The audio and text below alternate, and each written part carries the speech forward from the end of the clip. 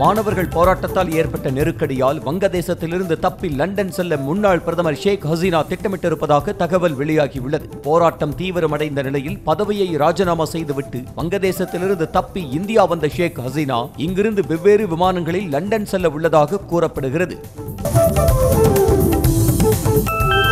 வங்கதேச முன்னாள் பிரதமர் ஷேக் ஹசீனா தப்பி ஓடியதால் அந்நாட்டின் நாடாளுமன்றம் இரவோடு இரவாக கலைக்கப்பட்டதாக அறிவிக்கப்பட்டது. வங்கதேச அதிபர் முகமது சகாபுதீன் நாடாளுமன்றம் கலைக்கப்பட்டதாக அறிவித்ததை தொடர்ந்து சலிமுல்லா கான் மற்றும் ஆசிப் நஸ்ருல் ஆகியோர் தலைமையில் இடைக்கால அரசு அமைந்துள்ளது. வங்கதேச முன்னாள் பிரதமர் ஷேக் ஹசீனா இனி அரசியலுக்கு திரும்ப மாட்டார் என அவருடைய மகனும் தலைமை ஆலோசகருமான சஜிப் வஜீத் தெரிவித்திருக்கிறார். மேலும் பதவியை ராஜினாமா செய்துவிட்டு வங்கதேசத்தை விட்டு வெளியேற ஷேக் ஹசீனா விரும்பவில்லை என்றும் குடும்பத்தின் வற்புறுத்தலின் பேரில் வெளியேறியதாக தெரிவித்திருக்கிறார். ஷேக் ஹசீனா நாட்டை விட்டு தப்பி ஓடியதும் வங்கதேச முன்னாள் பிரதமரும் எதிர்க்கட்சித் தலைவருமான கலிதா ஜியா சிறையில் இருந்து விடுதலை செய்யப்பட்டிருக்கிறார். ஊழல் வழக்கில் கலிதா ஜியாவிற்கு பதினேழு ஆண்டுகள் சிறை தண்டனை விதிக்கப்பட்ட நிலையில் உடனடியாக விடுதலை செய்ய அந்நாட்டு அதிபர் முகமது ஷகாபுதீன் உத்தரவிட்டதை தொடர்ந்து வெளியே வந்தார். வங்கதேச பிரதமர் மாளிகைக்குள் புகுந்த போராட்டக்காரர்கள் அங்குள்ள ஓய்வறையில் உள்ள கட்டிலில் படுத்துக்கொண்டு ரிலாக்ஸ் செய்தனர். மேலும் கட்டடத்தில் இருந்த ஓவியங்கள் ஷேக் ஹசீனாவின் புடவைகள் உள்ளிட்டவைகளையும் சூறையாடி சென்றனர்.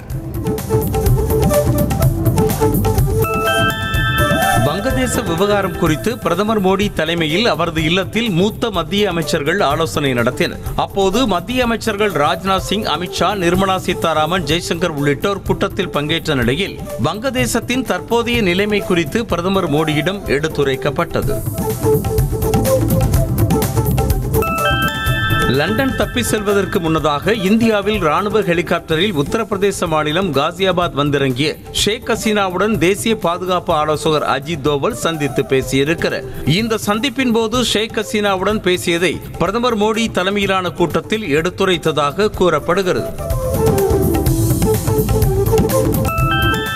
வங்கதேசத்தில் அசாதாரண சூழ்நிலை நிலவும் நிலையில் ஊடுருவலை அனுமதிக்க மாட்டோம் என்று திரிபுரா முதலமைச்சரிடம் மத்திய அமைச்சர் அமித்ஷா உறுதியளித்திருக்கிறார். மேலும் இந்தியா எல்லைகள் சிறந்த வகையில் பாதுகாக்கப்பட்டுள்ளதாகவும் ஒருவரை கூட ஊடுருவ அனுமதிக்க மாட்டோம் எனவும் அமித்ஷா தெரிவித்திருக்கிறார். வங்கதேச அரசியல் நெருக்கடியை தொடர்ந்து நாட்டு எல்லையை இந்திய ராணுவம் பலப்படுத்தியுள்ளது. சட்டவிரோத ஊடுருவலை தடுக்க மேற்கு வங்க மாநிலம் ஜல்பைகுரி பகுதியில் உள்ள இந்திய எல்லையில் ஏராளமான ராணுவ வீரர்கள் குவிக்கப்பட்டு கண்காணிப்பு பணிகள் தீவிரப்படுத்தப்பட்டுள்ளன.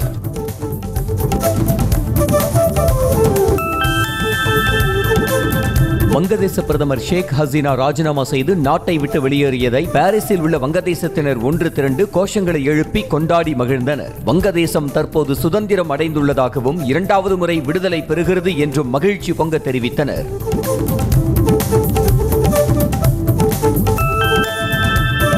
ஒலிம்பிக் பதக்கப்பட்டியலில் இருபத்தோரு தங்க பதக்கங்களோடு சீனா மீண்டும் முதலிடத்திற்கு முன்னேறி இருக்கிறது இதுவரை மூன்று பதக்கங்களை மட்டுமே கைப்பற்றிய இந்தியா அறுபதாவது இடத்திற்கு தள்ளப்பட்டுள்ளது. இருபது தங்க பதக்கங்களோடு அமெரிக்கா இரண்டாவது இடத்திலும் பதிமூன்று தங்க பதக்கங்களோடு ஆஸ்திரேலியா மூன்றாவது இடத்திலும் உள்ளன.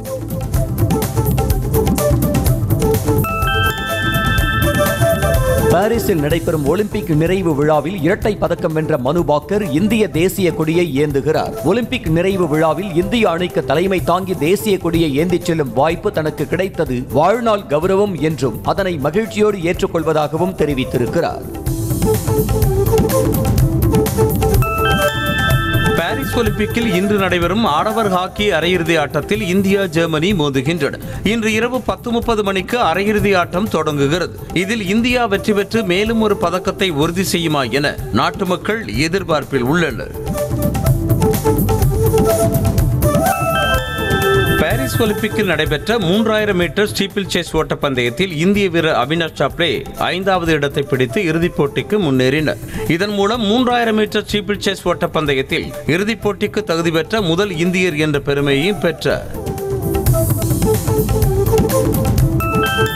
பாரிஸ் ஒலிம்பிக் பேட்மிண்டன் வெண்கல பதக்கத்திற்கான போட்டியில் இந்திய வீரர் லக்ஷயா சென் அதிர்ச்சி தோல்வியடைந்தார். பேட்மிண்டன் ஆடவர் ஒற்றையர் பிரிவு வெண்கல பதக்கத்திற்கான போட்டியில் மலேசியாவின் லீசி ஜியாவுடன் மோதிய லக்ஷயா சென் பதிமூன்று இருபத்தி ஒன்று இருபத்தி ஒன்று பதினாறு இருபத்தி ஒன்று பதினோரு என்ற நேர்செட் கணக்கில் தோல்வியுற்றார். இதன் மூலம் இந்தியாவின் மற்றொரு வெண்கல பதக்கத்திற்கான கனவும் தகர்ந்தது. ஒலிம்பிக் துப்பாக்கி சுடுதல் ஸ்கீச் கலப்பணி விளையாட்டில் நூலிலையில் வெண்கலப் பதக்கத்தை இந்தியா தவறவிட்டது. வெண்கலப் பதக்கத்திற்கான ஆட்டத்தில் சீனாவுடன் மோதிய மகேஸ்வரி சௌகான் மற்றும் ஆனந்த்ஜித் சிங் அணி துவக்க முதலே சிறப்பான புள்ளிகளை பெற்று வந்தது. முடிவில் சீனா நாற்பத்தி நான்கிற்கு நாற்பத்தி மூன்று என்ற புள்ளி கணக்கில் வென்றது. பாரிஸ் ஒலிம்பிக் மல்யுத்தத்தில் மகளிருக்கான அறுபத்தெட்டு கிலோ எடை பிரிவின் காலிறுதிச் சுற்றில் இந்திய வீராங்கனை நிஷா தஹியா தோல்வியை தழுவினார். வடகொரியா வீராங்கனையோடு கடுமையாக போராடிய போது விரலில் காயமடைந்து வெளியேறியதால் மனமுடைந்து அழுதார்.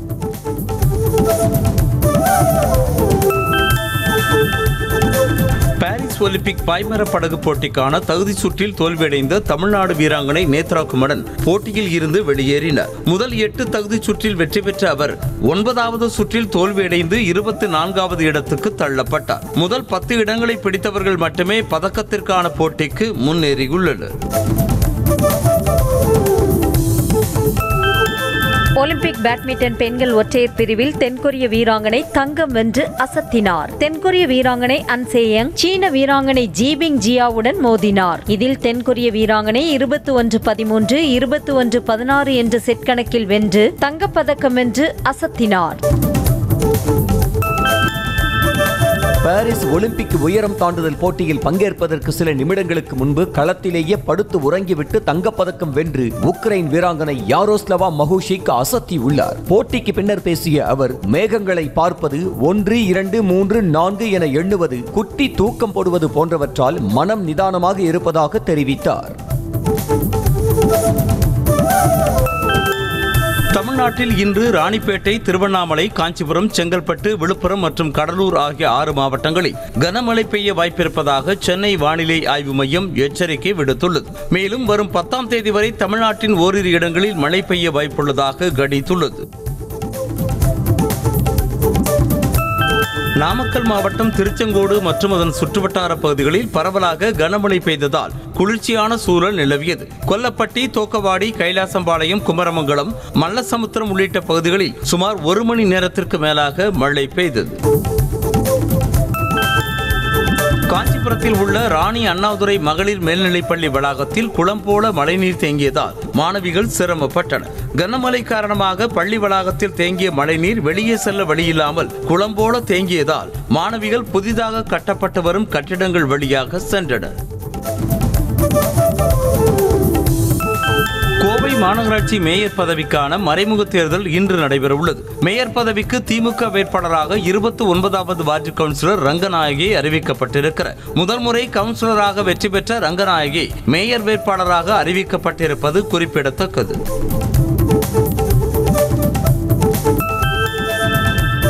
மாநகராட்சி மேயராக திமுகவின் கிட்டு என்ற ராமகிருஷ்ணன் தேர்வு செய்யப்பட்டார். மேயர் பதவிக்கு மறைமுக தேர்தல் நடைபெற்ற நிலையில் ராமகிருஷ்ணன் அதிக வாக்குகளை பெற்று வெற்றி பெற்றார். இவரை எதிர்த்து போட்டியிட்ட பவுல்ராஜ் வெறும் இருபத்தி மூன்று வாக்குகளை பெற்று தோல்வியடைந்தார். சென்னையில் எப்படிப்பட்ட மழை வந்தாலும் எதிர்கொள்ள அரசு தயாராக இருப்பதாக முதலமைச்சர் மு க ஸ்டாலின் தெரிவித்தார். சென்னை கொளத்தூரில் மேற்கொள்ளப்பட்டு வரும் மின்வாரிய பணிகளையும் பெரியார் நகர் புறநகர் மருத்துவமனையில் கட்டப்பட்டு வரும் கூடுதல் கட்டட பணிகளையும் நேரில் பார்வையிட்டு ஆய்வு செய்த முதலமைச்சர் தொடர்ந்து செய்தியாளர்களையும் சந்தித்தார். பள்ளி மாணவர்களுக்கு விலையில்லா சீருடையை உடனடியாக வழங்க வேண்டும் என அதிமுக பொதுச் செயலாளர் எடப்பாடி பழனிசாமி வலியுறுத்தியுள்ளார். பொங்கலுக்கான இலவச வேட்டி சேலையை குறிப்பிட்ட காலத்தில் வழங்கியதில்லை என்றும் தமிழக நெசவாளர்களுக்கு பணி ஆணை வழங்காததால் கடும் நெருக்கடிக்கு ஆளான அவர்கள் கஞ்சி தொட்டி திறக்கும் நிலைக்கு தள்ளப்பட்டதாகவும் இபிஎஸ் சுட்டிக்காட்டினார். எல்லை தாண்டி மீன் பிடித்ததாக தூத்துக்குடி மீனவர்கள் இருபத்தி இரண்டு பேரை இலங்கை கடற்படை கைது செய்திருக்கிறது. தரவைக்குளம் மீனவ கிராமத்தைச் சேர்ந்த இருபத்தி இரண்டு மீனவர்கள் இரண்டு விசைப்படகுகளில் நெடுந்தீவு அருகே மீன்பிடித்துக் கொண்டிருந்த போது எல்லை தாண்டி மீன் பிடித்ததாக கூறி கைது செய்த இலங்கை கடற்படையினர். அவர்களது படகுகளையும் பறிமுதல் செய்தனர். தமிழக பாஜக தலைவர் அண்ணாமலை தலைமையில் டெல்லி சென்ற நான்கு மாவட்டங்களைச் சேர்ந்த மீனவ பிரதிநிதிகள் மத்திய வெளியுறவுத்துறை அமைச்சர் ஜெய்சங்கரை சந்தித்தனர். அப்போது தமிழக மீனவர்கள் கடலில் மீன்பிடிக்கும் போது இலங்கை கடற்படையால் எதிர்கொள்ளும் பிரச்சனைகள் குறித்து மத்திய அமைச்சரிடம் விவரித்தனர்.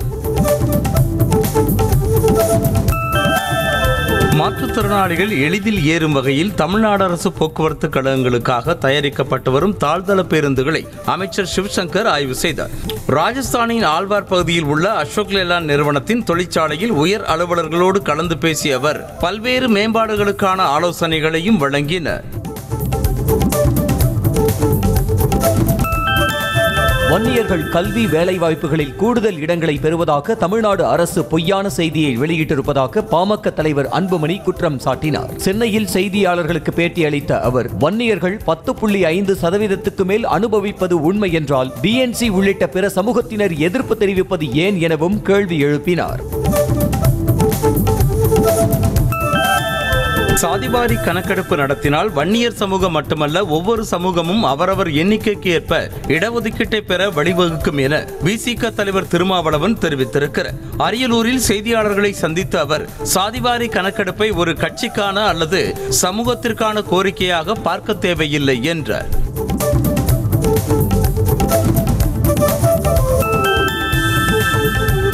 பல்கலைக்கழகங்களில் வழங்கப்படும் பிஹெச்டி படிப்புகளின் தரம் குறைவாக உள்ளதாக அமைச்சர் பொன்முடி காட்டமாக தெரிவித்திருக்கிறார். சென்னையில் உள்ள தமிழ்நாடு உயர்கல்வி மன்ற வளாகத்தில் துணைவேந்தர்களுடனான ஆலோசனை கூட்டத்தில் பேசிய அவர் தமிழ்நாடு உயர்கல்வி மன்றம் வழங்கிய பாடத்திட்டங்களை பின்பற்ற வேண்டும் என துணைவேந்தர்களுக்கு அறிவுறுத்தல் வழங்கினார்.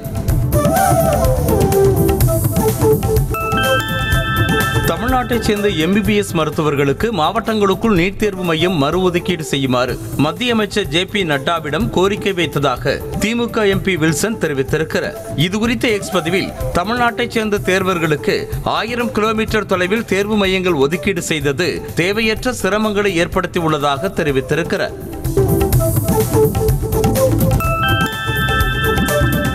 வெள்ளப்பெருக்கு காரணமாக உத்தரகாண்ட் மாநிலம் கேதார்நாத் பள்ளத்தாக்கில் சிக்கிய இருநூற்று ஒரு பேரை இந்திய விமானப்படையினர் பத்திரமாக மீட்டு ராணுவ ஹெலிகாப்டர் மூலமாக பத்திரமாக அனுப்பி வைத்தனர். வெள்ளத்தால் பாதிக்கப்பட்ட பகுதிகளில் தொடர்ந்து மீட்பு பணிகள் நடைபெற்று வரும் நிலையில் இதுவரை இரண்டாயிரம் கிலோ நிவாரணப் பொருட்கள் அனுப்பி வைக்கப்பட்டுள்ளன. ஐஏஎஸ் தேர்ச்சி ரத்து செய்யப்பட்டதை எதிர்த்து டெல்லி உயர்நீதிமன்றத்தில் முன்னாள் பயிற்சி ஐஏஎஸ் அதிகாரி பூஜா கேக்தர் வழக்கு தொடர்ந்துள்ளார். போலி சான்றிதழ் கொடுத்து தேர்வில் வெற்றி பெற்றதாக குற்றச்சாட்டு எழுந்தது. இதையடுத்து ஐஏஎஸ் தேர்ச்சியை ரத்து செய்து மத்திய அரசின் பணியாளர் தேர்வாணையம் உத்தரவிட்ட நிலையில் அதனை எதிர்த்து வழக்கு தொடர்ந்துள்ளார். ராஜஸ்தானில் காங்கிரஸ் எம்எல்ஏ முகேஷ் பாகர் சஸ்பெண்ட் செய்யப்பட்டதை கண்டித்து சக எம்எல்ஏக்கள் தொடர்ந்து இரவிலும் சட்டப்பேரவையில் போராட்டம் நடத்தினர். அரசு வழக்கறிஞர்கள் நியமனம் தொடர்பான பிரச்சனையில் கேள்வி எழுப்பியதற்காக முகேஷ் பாகர் சஸ்பெண்ட் செய்யப்பட்டார். இதனை கண்டித்து போராட்டத்தில் ஈடுபட்ட எம்எல்ஏக்கள் பாடல்களை பாடி கை தட்டினர். டெல்லியில் ஐஏஎஸ் கோச்சிங் சென்டரில் மூன்று மாணவர்கள் தண்ணீரில் மூழ்கி உயிரிழந்த நிலையில் அதற்கு நீதி கேட்டு சக மாணவர்கள் மெழுகுவர்த்தி ஏந்தி இரவில் போராட்டம் நடத்தினர். மழையையும் பொருட்படுத்தாமல் தொடர்ந்து போராட்டம் நடத்தி வரும் மாணவர்கள் சம்பந்தப்பட்டவர்கள் மீது கடும் நடவடிக்கை எடுக்க வேண்டும் என கோரிக்கை விடுத்துள்ளனர். கர்நாடக மாநிலம் பெங்களூருவில் தனியாக நடைபயிற்சி சென்ற பெண்ணிடம் ஒருவன் அத்துமீறலில் ஈடுபட்ட நெஞ்சை பதற வைக்கும் சிசிடிவி காட்சிகள் வெளியாகியுள்ளன. கோணனகுண்டே பகுதியில் அதிகாலை ஐந்து மணிக்கு தனியாக நடந்து சென்ற பெண்ணை துரத்தி சென்று கட்டி அணைத்த நிலையில் அந்த பெண் கூச்சலிட்டதால் தப்பி ஓடினான்.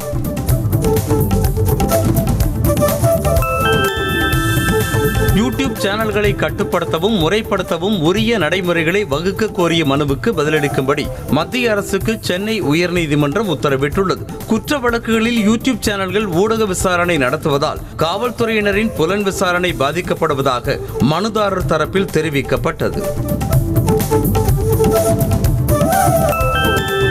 அமைச்சர் பொன்முடி மீதான செம்மன் குவாரி வழக்கில் அரசு தரப்பு சாட்சியான விழுப்புரம் மாவட்ட முன்னாள் ஆட்சியர் பழனிசாமி விழுப்புரம் நீதிமன்றத்தில் நேரில் ஆஜராகி சாட்சியம் அளித்தார். இதனை நீதிபதி பூர்ணிமா பதிவு செய்து கொண்ட நிலையில் இந்த வழக்கு மீண்டும் இன்று விசாரணைக்கு வருகிறது. சென்னை பெரம்பூரில் ஆம்சாங்கின் முப்பதாம் நாள் நினைவேந்தல் நிகழ்ச்சி அவர் படுகொலை செய்யப்பட்ட இடத்தில் நடைபெற்றது. அப்போது ஆம்சாங்கின் மனைவி பொற்கொடி தேம்பி தேம்பி அழுத காட்சிகள் அங்கிருந்தோரை கண் கலங்க வைத்தன. இதில் பகுஜன் சமாஜ் கட்சியின் நிர்வாகிகள் பலர் கலந்து கொண்டு ஆம்சாங்கின் படத்திற்கு மலர் தூவி அஞ்சலி செலுத்தினர். பாஜக வழக்கறிஞர் பிரிவு மாநில செயலாளர் அலெக்சிஸ் சுதாகரை குண்டர் தடுப்பு சட்டத்தில் சிறையில் அடைத்ததை எதிர்த்து தொடரப்பட்ட வழக்கில் செங்கல்பட்டு ஆட்சியர் காவல் கண்காணிப்பாளர் பதிலளிக்க சென்னை உயர்நீதிமன்றம் உத்தரவிட்டிருக்கிறது. சீர்காழி சத்யாவிற்கு துப்பாக்கி சப்ளை செய்ததாக அலெக்சிஸ் சுதாகரை மாமல்லபுரம் போலீசார் கைது செய்தனர். விழுப்புரம் மாவட்டம் திண்டிவனம் அருகே பட்டா மாற்றம் செய்வதற்காக ஐந்தாயிரம் ரூபாய் லஞ்சம் வாங்கிய கிராம நிர்வாக அலுவலர் மற்றும் உதவியாளரை லஞ்ச ஒழிப்பு போலீசார் கைது செய்து முருகன் என்பவர் லஞ்ச ஒழிப்புத்துறை போலீசாரிடம் அளித்த புகாரின் அடிப்படையில் நடவடிக்கை எடுக்கப்பட்டுள்ளது. தஞ்சாவூரில் பாதாள கழிவுநீர் குழாய் சீரமைப்பின் போது ஏற்பட்ட மண் சரிவில் சிக்கிய இரண்டு தொழிலாளர்களில் ஒருவர் உயிருடன் மீட்கப்பட்ட நிலையில் மூன்று மணி நேர போராட்டத்திற்கு பிறகு மற்றொருவர் சடலமாக மீட்கப்பட்டார். உயிரிழந்த ஜெயநாராயண மூர்த்தி என்பவருக்கு இரண்டு வயதில் பெண் குழந்தையும் எட்டு மாதத்தில் ஆண் குழந்தையும் உள்ளன கடலூர் மாவட்டம் சேமக்கோட்டை அரசு நேரடி நெல் கொள்முதல் நிலையத்தில் எடை போடாமல் தேங்கியுள்ள நெல் மூட்டைகள் மழையில் நனைந்து சேதமடைவதாக விவசாயிகள் வேதனை தெரிவிக்கின்றனர். இதனால் அறுவடை செய்யப்பட்ட நெல்மணிகளை அன்றே எடை போட்டு கொள்முதல் செய்ய வேண்டும் என அரசுக்கு கோரிக்கை விடுத்துள்ளனர். சேலம் மாவட்ட ஆட்சியர் அலுவலகத்தில் விவசாயி ஒருவர் தண்ணீர் குடத்தை தலையில் வைத்துக் கொண்டு தர்ணாவில் ஈடுபட்டார். இலவச மின் இணைப்பு வழங்கப்படாமல் இரண்டு வருடங்களாக அலைக்கழிக்கப்படுவதாகவும் குடிநீருக்காக இரண்டு கிலோமீட்டர் தொலைவு நடக்க வேண்டியிருப்பதாகவும் ஆவேசமாக புகார் அளித்தார்.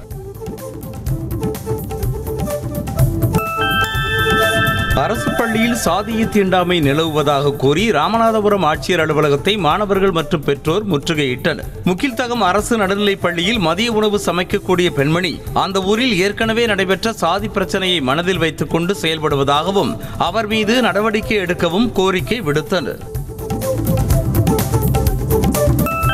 திண்டுக்கல் மாவட்டம் நத்தம் செந்துறை ரோட்டில் உள்ள ஆர்சி மேல்நிலை பள்ளியில் பள்ளிக்கல்வித்துறை அமைச்சர் அன்பில் மகேஷ் திடீரென ஆய்வு மேற்கொண்டார். அப்போது மாணவ மாணவிகளை புத்தகங்களை வாசிக்கச் சொல்லி கேட்டதோடு விளையாட்டுப் போட்டியை ஆசிரியர்களுடன் அமர்ந்து கண்டுகளித்தார். சேலம் மாவட்டம் மேட்டூர் அணை உபரிநீர் செல்லும் காவிரி ஆற்றில் சிறிய மலைக்குன்றில் சிக்கிய ஏழு நாய்களை மீட்கும் முயற்சி தோல்வியில் முடிவடைந்தது. நாய்களை மீட்பதற்காக தீயணைப்புத் துறையினர் புது பாலத்தில் கயிறு கட்டி இறங்கிய போதும் தண்ணீரின் வேகம் அதிகமாக இருந்ததால் அந்த இடத்திற்கு அவர்களால் செல்ல முடியவில்லை. தஞ்சாவூர் மாவட்டம் கும்பகோணத்தில் அரசு பேருந்தில் டிக்கெட் மாற்றிக் கொடுக்கப்பட்டது குறித்து கேள்வி கேட்ட பயணியை நடத்துனர் கீழே இறக்கிவிட்டது குறித்து போலீசில் புகார் அளிக்கப்பட்டது. சிங்கப்பெருமாள் கோவில் செல்ல டிக்கெட் கேட்டதற்கு கிளம்பாக்கத்திற்கான டிக்கெட்டை கொடுத்ததால் நடத்துனரிடம் மாரியப்பன் என்பவர் வாக்குவாதத்தில் ஈடுபட்டார். சிவகங்கையில் நியோமேக்ஸ் நிதி நிறுவனத்தில் பணம் செலுத்தி ஏமாற்றம் அடைந்த டைல்ஸ் கடை உரிமையாளர் கடிதம் எழுதி வைத்துவிட்டு தற்கொலை செய்து கொண்டார் திருப்பாச்சேத்தி பகுதியைச் சேர்ந்த ராமலிங்கம் நியோமேக்ஸ் நிதி நிறுவனத்தில் இருபத்தி ஐந்து லட்சம் ரூபாய் முதலீடு செய்து ஏமாற்றமடைந்தார் இதனால் மன உளைச்சலில் இருந்த அவர் வீட்டில் தூக்கிட்டு தற்கொலை செய்து கொண்டார்.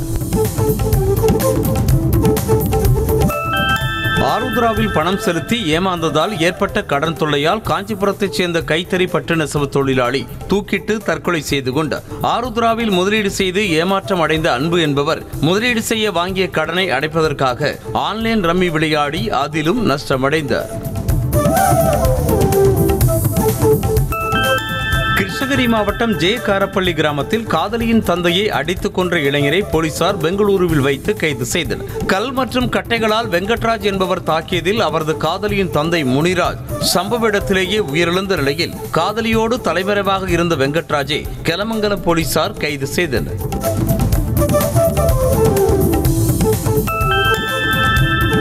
ஈரோடு மாவட்டம் சிங்கிரிபாளையம் பகுதிகளில் ஒரு வாரமாக வீடுகளின் மீது கற்களை வீசி பொதுமக்களை அச்சுறுத்தி வந்த நபரை போலீசார் கைது செய்தனர் நிர்மல்ராஜ் என்ற நபர் தொடர்ந்து இரவில் மறைந்திருந்து வீடுகள் மீது கற்களை வீசி வந்த நிலையில் பொதுமக்கள் அவரை மடக்கி பிடித்து போலீசாரிடம் ஒப்படைத்தனர். சென்னை ராமாபுரத்தில் பராமரிப்பு என்ற பெயரில் பில்டர் ஒருவர் குடியிருப்பு வாசிகளிடம் பணத்தை வசூலித்து சிரமப்படுத்துவதாக புகார் எழுந்துள்ளது. இதனால் குடியிருப்பு வாசிகள் ஹோம் ஃபைண்டர்ஸ் எனும் அடுக்குமாடி குடியிருப்பின் முன்பாக பந்தல் அமைத்து தர்ணாவில் ஈடுபட்ட நிலையில் போலீசார் அவர்களிடம் பேச்சுவார்த்தை நடத்தினர். கிருஷ்ணகிரி மாவட்டம் கெட்டூர் கிராமத்தில் கல்குவாரி அமைக்க எதிர்ப்பு தெரிவித்து கிராம மக்கள் போராட்டத்தில் ஈடுபட்டனர். கல்குவாரி நடத்தினால் விவசாயம் பாதிக்கப்படுவதோடு அங்கு பயன்படுத்தப்படும் வெடிபொருட்களால் வீடுகளில் விரிசல் ஏற்பட்டு சாலைகள் பழுதடைய வாய்ப்புள்ளதாக கிராம மக்கள் அச்சம் தெரிவிக்கின்றனர். கடலூர் மாவட்டம் விருத்தாச்சலத்தில் மருத்துவமனையில் பாலினம் கண்டறியும் ஸ்கேன் இயந்திரம் வைத்திருந்த பெண் மருத்துவருக்கு மூன்று வருட சிறை தண்டனை விதிக்கப்பட்டது. மருத்துவர் கோப்பெருந்தேவிக்கு மூன்று வருட சிறை மற்றும் பத்தாயிரம் ரூபாய் அபராதம் விதித்து தீர்ப்பளித்த நிலையில் சொந்த ஜாமீனில் விடுவிக்கப்பட்டார். சாதியை சொல்லி திட்டிய சார் பதிவாளர் மீது நடவடிக்கை எடுக்க கோரிய வழக்கில் திருமங்கலம் டிஎஸ்பி விசாரணை நடத்த உயர்நீதிமன்ற மதுரை கிளை உத்தரவிட்டுள்ளது. சங்கரன் என்பவர் தனது பூர்வீக சொத்தை ஒரு தரப்பினர் போலி ஆவணங்கள் மூலம் கள்ளிக்குடி சார் பதிவாளர் அலுவலகத்தில் பத்திரப்பதிவு செய்ததாகவும் இதுகுறித்து கேட்டபோது சார் பதிவாளர் சாதியை சொல்லி திட்டியதாகவும் தெரிவித்திருக்கிறார்.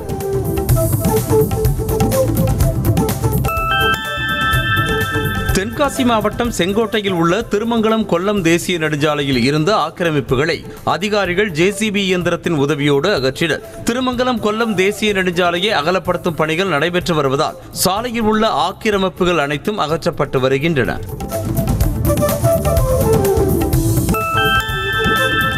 தூத்துக்குடி மாவட்டம் எட்டயபுரத்தில் சாலையில் அமர்ந்து மது அருந்தியதை தட்டி கேட்ட போலீசாரை வீடியோ எடுத்து அதனை சமூக வலைதளத்தில் பதிவேற்றம் செய்த இருவர் தங்களது தவறை ஒப்புக்கொண்டு மன்னிப்பு கேட்கும் வீடியோ வெளியாக இருக்கிறது. முன்னதாக போலீசிடம் தாங்கள் மது அருந்திவிட்டு வாகனம் ஓட்டவில்லை அமர்ந்துதான் இருந்தோம் என கூறி வாக்குவாதத்தில் ஈடுபட்டனர்.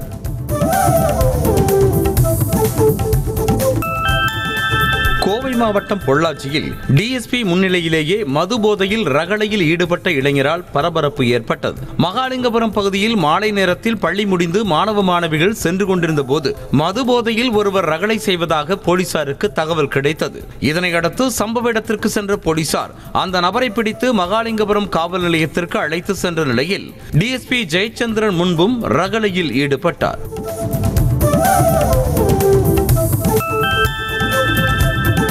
செங்கல்பட்டு மாவட்டம் திருப்போரூரில் வடமாநில தொழிலாளரிடம் ஆயிரம் ரூபாயை பறித்துக் கொண்டு அவரை கண்மூடித்தனமாக தாக்கிய காவலரை மானாமதி போலீசார் கைது செய்தனர். தனியார் தொழிற்பேட்டை மேலாளர் அளித்த புகாரின் அடிப்படையில் காவலர் அஜித்குமார் கைது செய்யப்பட்டு சிறையில் அடைக்கப்பட்டார்.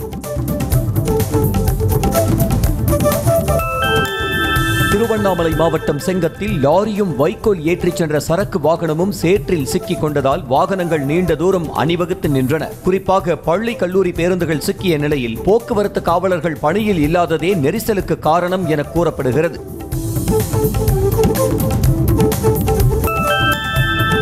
தூத்துக்குடி மாவட்டம் பொட்டலூரணி கிராமத்தில் இயங்கி வரும் கழிவு மீன் நிறுவனங்களை உடனடியாக மூடக்கோரி ஆலைக்கு வந்த லாரியை சிறைப்பிடித்து கிராம மக்கள் போராட்டத்தில் ஈடுபட்டனர். இந்த லாரிகளில் இருந்து வெளியேற்றப்படும் கழிவால் மூச்சு திணறல் ஏற்படுவதோடு விவசாயம் செய்ய முடியாத நிலை ஏற்படுவதாக மக்கள் புகார் தெரிவிக்கின்றனர்.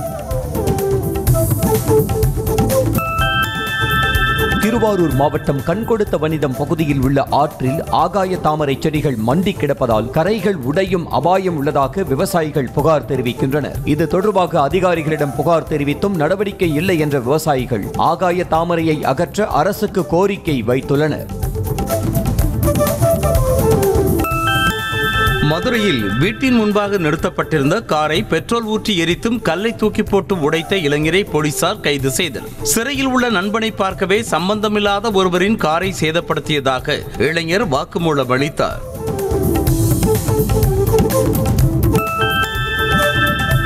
தேனி மாவட்டம் ஆனைமலையான்பட்டியில் கோவிலில் விளக்கு ஏற்றிய போது ஏற்பட்ட தீ விபத்தில் காயமடைந்த இளைஞர் மருத்துவமனையில் சிகிச்சை பலனளிக்காமல் உயிரிழந்தார். சின்னசாமி என்பவர் கோவிலில் விளக்கு போட சென்றபோது அவர் வாங்கி வைத்திருந்த பெட்ரோல் பாட்டில் எதிர்பாராத விதமாக கொட்டியதில் தீ பற்றியது. திருவள்ளூர் மாவட்டம் திருத்தணி அருகே அரசு பள்ளி வளாகத்தில் உள்ள புதரில் சிறுநீர் கழிக்க சென்ற மாணவனை பாம்பு கடித்த சம்பவம் அதிர்ச்சியை ஏற்படுத்தியது. பாம்பு கடித்ததில் சிறுவன் கூச்சலிடவே ஆசிரியர்கள் ஓடி வந்து அவரை மீட்டு திருத்தணி அரசு மருத்துவமனைக்கு அனுப்பி வைத்தனர். இதற்கிடையே பள்ளி வளாகத்தில் இருந்த முட்புதர்கள் அகற்றப்பட்டன வேலூர் மாவட்டம் கல்லேரி பகுதி விவசாய நிலத்தில் நாட்டு துப்பாக்கியை பறிமுதல் செய்த போலீசார் ஒருவரை கைது செய்தனர். கல்லேரி பகுதி விவசாய நிலங்களில் கோட்டி என்பவர் நாட்டு துப்பாக்கியை வைத்து வனவிலங்குகளை வேட்டையாடுவதாக கிடைத்த ரகசிய தகவல் அடிப்படையில் அங்கு சோதனை செய்த போலீசார் துப்பாக்கியை பறிமுதல் செய்து தப்பி ஓடிய மற்றொருவரை தேடி வருகின்றனர்.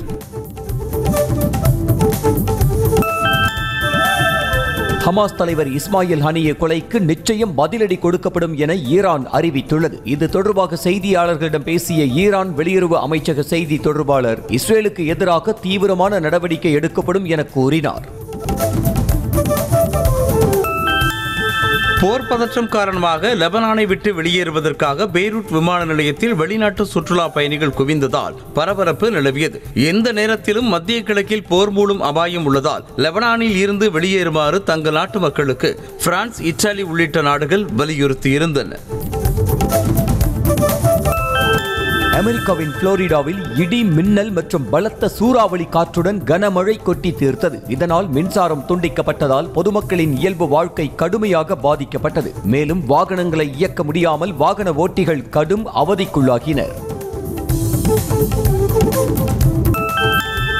அமெரிக்காவின் புளோரிடாவில் கொட்டி தீர்த்த கனமழையால் சாலைகளில் ஆறு போல் வெள்ளம் பெருக்கெடுத்து ஓடியது. இதனால் போக்குவரத்து முடங்கிய நிலையில் தொடர்ந்து மழை நீரை வெளியேற்றும் பணிகள் தீவிரமாக மேற்கொள்ளப்பட்டு வருகிறது. இலங்கைக்கு எதிரான கிரிக்கெட் தொடரில் விராட்டிற்கும் ரோஹித்திற்கும் பயிற்சியாளர் கம்பீர் ஓய்வு கொடுத்திருக்க வேண்டும் என முன்னாள் இந்திய வீரர் ஆஷிஷ் நெஹ்ரா தெரிவித்துள்ளார். இதுகுறித்து பேட்டி அளித்துள்ள அவர் கம்பீர் புதிய பயிற்சியாளர் என்பதால் அனுபவ வீரர்களுடன் நேரத்தை செலவிட விரும்புவதாகவும் ஆனால் புதிய வீரர்களுக்கும் வாய்ப்பளிக்க வேண்டும் என்றும் வலியுறுத்தினார். இங்கிலாந்து கிரிக்கெட் அணியின் முன்னாள் வீரர் கிரஹாம் தோர்ப் உயிரிழந்தார். ஐம்பத்து ஐந்து வயதான கிரஹாம் தோர்ப் கடந்த சில நாட்களாகவே உடல்நலக் குறைவால் அவதிப்பட்டு வந்த நிலையில் அவர் உயிரிழந்து விட்டதாக இங்கிலாந்து கிரிக்கெட் வாரியம் அறிவித்துள்ளது. ஆயிரத்து தொள்ளாயிரத்து தொன்னூற்று ஆறு மற்றும் ஆயிரத்து தொள்ளாயிரத்து தொன்னூற்று ஒன்பது உலகக்கோப்பை தொடர்களில் விளையாடியிருக்கும் கிரஹாம் தோர்ப் இங்கிலாந்து அணி கேப்டனாகவும் செயல்பட்டுள்ளார். இந்தியா இலங்கை இடையிலான ஒருநாள் போட்டியில் விராட் கோலி அவுட் இல்லை என அறிவிக்கப்பட்ட விரக்தியில் இலங்கை வீரர்கள் நடுவரிடம் வாக்குவாதத்தில் ஈடுபட்டனர். இரண்டாவது ஒருநாள் போட்டியில் விராட் கோலி பேட்டிங் செய்தபோது அகிலா தனஞ்சயா வீசிய பந்தில் அவர் எல்பிடபிள்யூ ஆனதாக நடுவர் அவுட் வழங்கினார். ஆனால் பந்து பேட்டில் பட்ட பிறகுதான் அவரது காலில் பட்டது தெரிந்ததால் மூன்றாவது நடுவர் அவுட் இல்லை என்றார். மதுரை ராஜா முத்தையா மன்றத்தில் நடைபெற்ற நிகழ்ச்சியில் வைரமுத்துவிற்கு தமிழிசை சங்கம் சார்பில் தமிழ் பெரும் கவி பட்டம் வழங்கப்பட்டது. இதனைத் தொடர்ந்து பேசிய வைரமுத்து முத்தமிழ் பேரறிஞர் பட்டத்திற்கு சர்ச்சையை கிளப்பினார்கள். ஆனால் முதல்வர் தன்னை நெறிப்படுத்தியதால் முத்தமிழ் பெரும் கவி என்ற பட்டத்தை பெறுவதாக தெரிவித்தார். ரஞ்சித் இயக்கத்தில் விக்ரம் நடித்திருக்கும் தங்கலான் படத்தின் இசை வெளியீட்டு விழா சென்னையில் ஆடல் பாடல் என கோலாகலமாக நடைபெற்றது. இதில் நடிகர் விக்ரம் நடிகைகள் பார்வதி மாளவிகா மோகனன் மற்றும் இசையமைப்பாளர் ஜி வி பிரகாஷ் உள்ளிட்ட படக்குழுவினர் பங்கேற்றனர். இப்படம் வரும் பதினைந்தாம் தேதி திரையரங்குகளில் வெளியாக உள்ளது இயக்கி நடித்த ராயன் திரைப்படத்தில் ரசிகர்களை வெகுவாக கவர்ந்த வாட்டர் பாக்கெட் பாடலின் வீடியோவை படக்குழு வெளியிட்டுள்ளது. படத்தில் சந்தீப் கிருஷ்ணனுக்கும் அபர்ணா பாலமுரளிக்கும் இடையிலான காதல் காட்சிக்காக பயன்படுத்தப்பட்ட இந்த பாடலை ஏ ஆர் ரகுமான் இசையில் சந்தோஷ் நாராயணன் மற்றும் ஸ்வேதா மோகன் இணைந்து பாடியுள்ளனர். தன்னை லேடி சூப்பர் ஸ்டார் என அழைப்பது அவமானமாக இருப்பதாக மஞ்சு வாரியர் தெரிவித்துள்ளார். இன்ஸ்டாகிராம் பக்கத்தில் கேள்வி ஒன்றுக்கு பதிலளித்த அவர் லேடி சூப்பர் ஸ்டார் பட்டத்திற்கு பலரும் தங்களுக்கான வரையறையை வைத்திருக்கின்றனர் என்றும் உண்மையில் தனக்கு எந்த பட்டமும் தேவையில்லை என்றும் தெரிவித்துள்ளார்.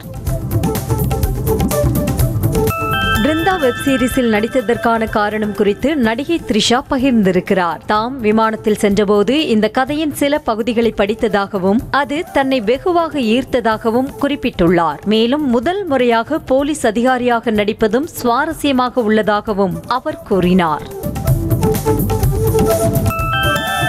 மர்ம நபர் ஒருவர் கிரெடிட் கார்டு மூலம் மோசடி செய்ய முயன்றதாக நடிகை ஷாலு ஷம்மு வீடியோ வெளியிட்டு குற்றம் சாட்டியுள்ளார். அதில் மூன்று லட்சத்து நாற்பத்தி மூன்றாயிரம் ரூபாய்க்கு பொருட்கள் வாங்கியதாகவும் ஆம் என்றால் ஒன்றை அழுத்தவும் இல்லை என்றால் ஒன்பதை அழுத்தவும் என கூறி மோசடியில் ஈடுபட முயன்றதாகவும் ஆகவே மக்கள் எச்சரிக்கையாக இருக்குமாறும் அறிவுறுத்தியுள்ளார். தூத்துக்குடி பனிமயமாதா பேராலயத்தில் நானூற்று நாற்பத்தி இரண்டாவது ஆண்டு திருவிழாவில் சப்பரபவனி விமர்சையாக நடைபெற்றது. மின் விளக்குகள் மற்றும் மலர்களால் அலங்கரிக்கப்பட்ட சப்பரத்தில் பனிமயமாதா எழுந்தருளி பக்தர்களுக்கு காட்சியளித்தார். தேனி மாவட்டம் ஆண்டிப்பட்டி அருகே கருப்பசாமி கோவிலில் கருப்பசாமி பூசாரி அரிவாள் மீது ஏறி நின்று மது குடித்துக் கொண்டே பக்தர்களுக்கு அருள்வாக்கு கூறினார் ஆடி அமாவாசை தினத்தை முன்னிட்டு அருள்வாக்கு கூறும் நிகழ்ச்சி நடைபெற்ற நிலையில் தமிழகத்தின் பல்வேறு மாவட்டங்களில் இருந்து வந்த பக்தர்கள் நீண்ட நேரம் காத்திருந்து அருள்வாக்கு பெற்று சென்றனர். சாம்சங் நிறுவனத்தின் கேலக்ஸி Z Fold 6 மற்றும் Z Flip 6 ஆகிய இரண்டு ஃபோல்டபிள் ஸ்மார்ட் போன்கள் லேட்டஸ்ட் கேலக்ஸி ஏஐ அம்சங்களுடன் அறிமுகம் செய்யப்பட உள்ளது. இந்தியாவில் இந்த இரு மாடல் போன்களுக்கும் ஆன்லைன் மற்றும் ஆஃப்லைன் மூலமாக ப்ரீ ஆர்டர் செய்யலாம் என சாம்சங் நிறுவனம் அறிவித்திருக்கிறது. ஆப்பிள் நிறுவனம் அடுத்த மாதம் ஐபோன் சிக்ஸ்டீன் ப்ரோ மற்றும் ப்ரோ மேக்ஸை அறிமுகப்படுத்த உள்ள நிலையில் இவை டிஸ்பிளே செயல்திறன் மற்றும் கேமரா அமைப்புகளில் குறிப்பிடத்தக்க மேம்படுத்தல்களை கொண்டிருக்கும் என தகவல்கள் வெளியாகியுள்ளன. குறிப்பாக iPhone sixteen pro max six point nine inch டிஸ்பிளேவுடன் வரும் என்று எதிர்பார்க்கப்படுகிறது. இரண்டாயிரத்து நாற்பத்தேழில் வளர்ந்த இந்தியா என்ற இலக்கின் அடிப்படையில் மாருதி சுசுகி நிறுவனம் எலக்ட்ரானிக் கார்களை உற்பத்தி செய்ய உள்ளது. நிதியாண்டுக்கான வருடாந்திர அறிக்கையை வெளியிட்ட மாருதி சுசுகி நிறுவன தலைவர் ஆர் சி பார்கவா இன்னும் சில மாதங்களில் மாருதியின் எலக்ட்ரிக் கார்கள் அறிமுகப்படுத்தப்படும் என தெரிவித்தார்.